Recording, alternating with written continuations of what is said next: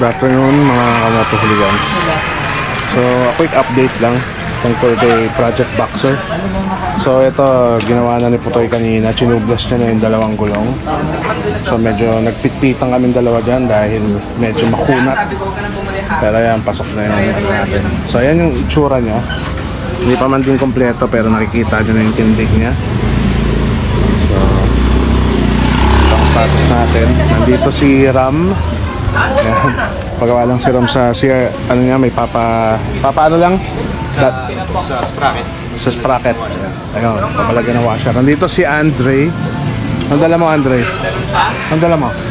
Wala, naglakad na ako. Ito? Ayan, so nakakotse pala to. Ayan, pumufood trip lang si Master TP. Dito sa Sterling dahil siya sa'yo.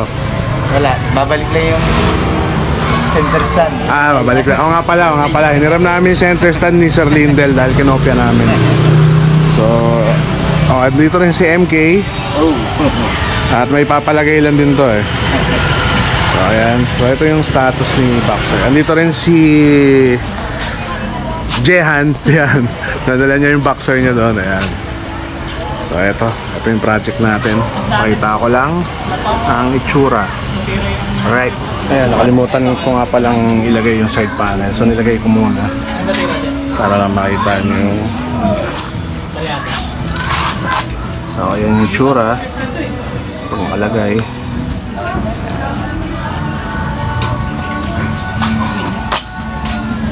So, papakita namin sa inyo pag nakabit namin yung ibang parts pa. Pero sa ngayon, dyan na lang muna. Ayan. Alright.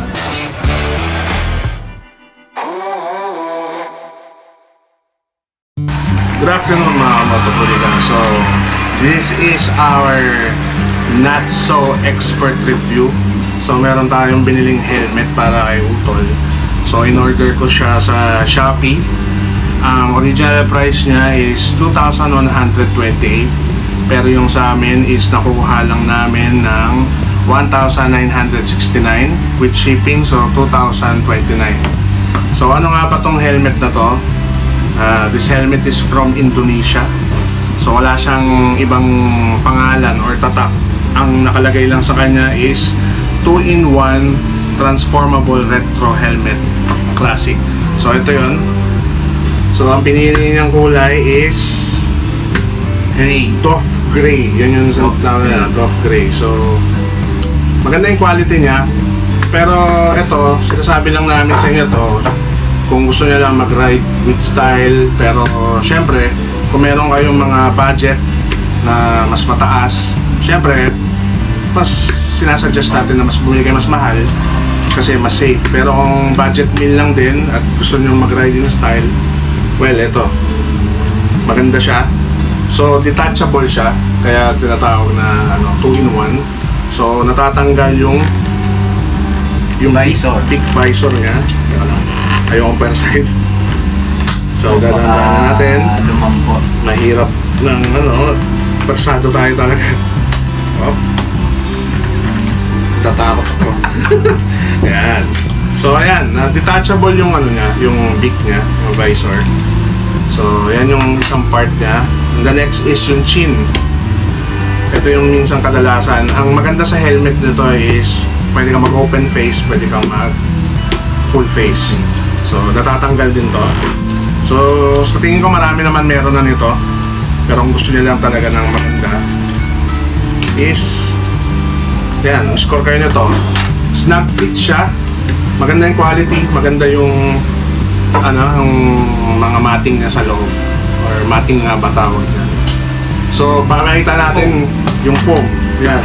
Tapos yan, may mga ano rin. So, I think isa tong ano eh, parang parang independent company na mga nagpo-produce nito sa In- Indonesia na nagfo-focus sila sa mga retro helmet, mga full face, mga goggles. So ito yung helmet, hindi siya ganun kaano eh. Parang well, you get what you paid for, di ba?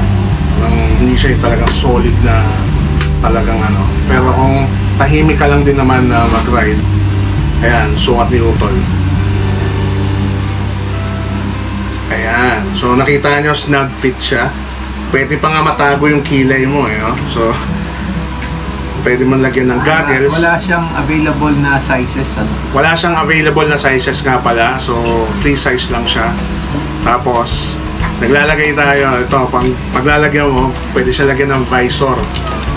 So, ikakabit natin yung visor. Marap ka sa akin. So, ito ang model ko. Si The Brother nga pala.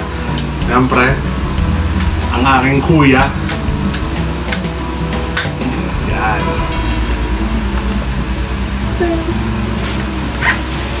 So, pwede to pang scrambler, pang cafe. So, multi-purpose talaga yung helmet. Eh. Maganda yung pagka-design sa kanya. So, para sa mga nagtitipid. Ayan. Ayan. Good siya, goods. Narinig mo na yung tunog. Pag narinig mo mag-snap, pak, salpak.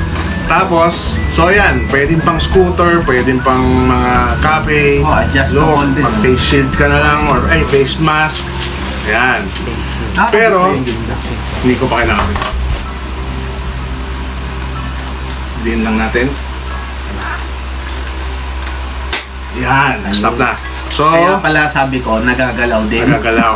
hindi pala. So, ito naman yung para sa full face na feature niya. So, mukha siyang pang stormtrooper. Yeah. So, okay naman to pag yan. Siyempre, hulihin yung mga open face. So, siyempre, kakabit mo lang. Diba?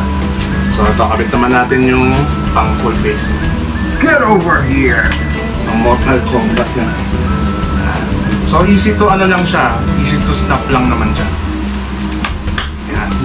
Titignan mo lang talaga kung saan nakatama. Kasi, yan, kinokorek. Kukorekin niya yung, ano niya, yung position. Pero kung gusto mo ng ganyan, medyo takip yung sa ilong, pwede naman yung ibabaw lang. Kasi tight naman siya eh. Oo. Yun yung napansin ko sa kanya. So, kung gusto mo naman yung medyo enduro style na nakababa yung ano. So, Pwede rin. ihilahin mo lang yan. Tapos snap mo. Yan. So, kita yung mukha. Ang hirap na nakasuot eh. Pero yan, mostly yan yung picture niya. So, mas parang mas trip ko yung na, baka masira. so, so, para sa mga naghahanap ng helmet, yung mga affordable, hindi po ako binabayaran ng helmet na to. Talagang natuwa lang kami sa purchase namin. Dahil unang-una, cheap pero quality. Yung safety, hindi natin maano, mareratean yan kasi siyempre, hindi natin alam kung dumaan sila sa quality control sa Indonesia. Pero yun nga, kung gusto mo ng pang ikot-ikot lang, basta safe ka mag-drive, mag-work tong helmet na to para sa'yo. So, kaya ano naman masasabi mo. Brad? Ba't sa baba mo kinakabit? Sabi mo pwede sa Hindi, ubarin mo muna. Ubarin mo muna. Hindi, ibig ko sabihin. Pag ito lang yung nakakabit, pag yung ibabaw lang sa top button, Ah, na-adjust. May, may gaganon na siya. ibig sabihin mas natatakip yung Ah, Akala ko. So, yan. So, kung yan lang, nakita nyo, pwedeng medyo takip yung dito mo, nabababa mo. So, in style. So, kung gusto mo naman yung medyo enduro style na, yan, nakababa. Ah, yun. kita yung I-adjust mo lang. ilong mo, diba? So, Huwag mo double lang i-clip dun sa ibaba niya. sa ilalim. Yan. Oo. So, ayan. Para sa amin, okay to. Maganda, maganda. Maganda yung quality. Tuwa rin ako nung makita ko dun sa picture na pinost niya.